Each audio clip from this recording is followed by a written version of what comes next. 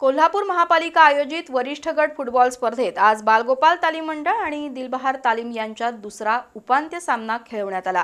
अत्यंत चुरशीनं खेळल्या गेलेल्या या सामन्यात दोन्ही संघांना अखेरपर्यंत गोल नोंदवता आला नाही. अखेर टाय ब्रेकरवर गेलेल्या या सामन्यात बालगोपालनं दिलबहारवर दोन एक अशा गोल फरकानं विजय मिळवत अंतिम फेरीत प्रवेश केला. रविवारी खंडोबा आणि बालगोपाल संघात स्पर्धेतील अंतिम सामना खेळवण्यात येणार आहे. छत्रपती शाहू स्टेडियमवर कोल्हापूर महानगरपालिका वरिष्ठ लीग फुटबॉल स्पर्धा सुरू आहे.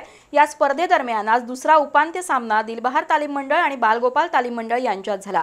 दोन्ही संघातील आघाडीच्या फळीतील खेळाडूंनी विविध चाली रचत आक्रमणाचं धोरण अवलंबलं. मात्र गोल करण्यात दोन्ही संघातील खेळाडूंना अपयश आलं. पूर्वार्ध गोलशून्य बरोबरीत राहिला. उत्तरार्धात पुन्हा दोन्ही संघाकडून आक्रमण झाली.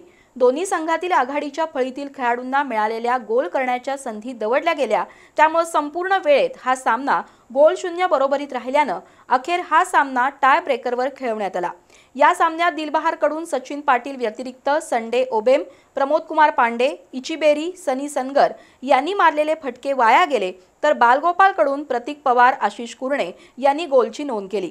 त्यांच्या शुभम जाधव रोहित कुरणे यांचे फटके गोलरक्षक शुभम हराळे यानं रोखले.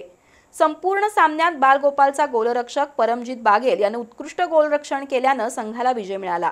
या सामन्यात दोन एक अशा गोल फरकानं विजय मिळवत बालगोपाल संघानं या स्पर्धेच्या अंतिम फेरीत धडक मारली. शनिवारी दुपारी चार वाजता महसूल आणि सेवानिवृत्त पोलीस कर्मचारी यांच्यात तसंच प्रसारमाध्यम आणि महानगरपालिकेचे माजी नगरसेवक यांच्यात प्रदर्शनीय सामने खेळवण्यात येणार आहेत.